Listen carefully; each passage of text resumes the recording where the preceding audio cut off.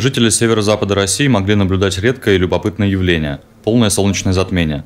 К сожалению, максимальная его фаза пришлась на малообитаемые регионы нашей страны, такие как остров Шпицберген. В Иванове Луна закрыла Солнце лишь на 65%. В Ивановском музее камня была организована площадка для наблюдения за этим зрелищным явлением. Первое в истории человечества затмение, которое было задокументировано, произошло 4000 лет назад в Китае. Астрономов, которые не смогли вовремя его предсказать, обезглавили. В истории известны два полных, стопроцентных затмения в нашем регионе. Одно 830 лет назад, другое летом 45 года. 9 июля 45 года как раз, э, в общем, ученые приезжали к нам сюда в Иванскую область, долго готовились, был Фисенков, был Капица. Э, на базе Богородского был создан целый городок для наблюдения за солнечным затмением. Полоса как раз проходила через Ярославскую область, Иванскую и Горьковскую. Но, к сожалению, как раз вот в этот день вдоль полосы прошел грозовой фронт, и, к сожалению, само затмение не было видно. Так совпало, что в предстоящую ночь начинается новый астрономический год, и Луна оказалась между нашим светилом и Землей, отбросив на нее свою тень.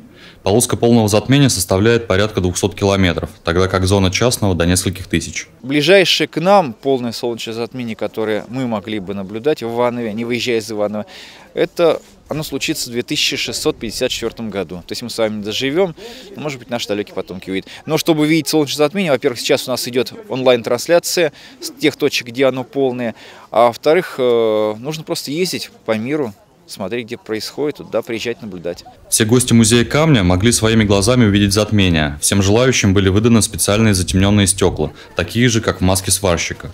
Но без специальной астрономической аппаратуры дело не обошлось. Самый большой телескоп был приспособлен для показа проекции затмения. Все явление разворачивалось на листе белой бумаги. Другой телескоп был оснащен специальным фильтром, защищающий глаз от сильного светового потока. Если просто смотреть на Солнце это можно повредить сетчатку. Если смотреть в телескоп без специальных фильтров, то э, просто закипят и взорвутся глаза. То есть как раз лучи сходятся внутри глазного яблока, происходит закипание, глаз разрывается. Поэтому только, только через фильтр. Свежие эмоции и какое-то своеобразное чувство пират-крателя посетило многих участников публичного просмотра этого явления.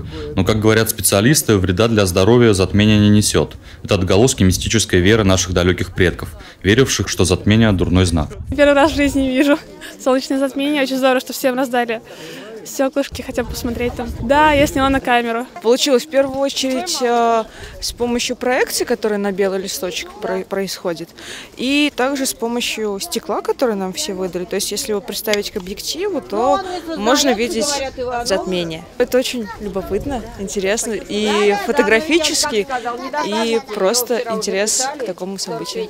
Недавнее полярное сияние, солнечное затмение и другие астрономические явления, которые мы сможем наблюдать в этом году, могут освежить освежить наши чувства, дать заряд новых эмоций. Но в любом случае нужно быть готовым и почаще смотреть на небо. Александр Руденко, Денис Денисов, РТВ, Иваново.